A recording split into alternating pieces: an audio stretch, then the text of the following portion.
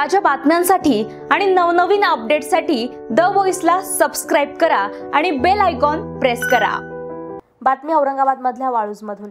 शिवाजीनगर परिसरात असलेल्या कलानगरमध्ये श्री गजानन महाराज मंदिराची उभारणी करून मान्यवरांच्या हस्ते मूर्तीची प्राणप्रतिष्ठा व आरती आज करण्यात आली. यावेळी अनेक मान्यवरांची उपस्थिती पाहायला मिळाली.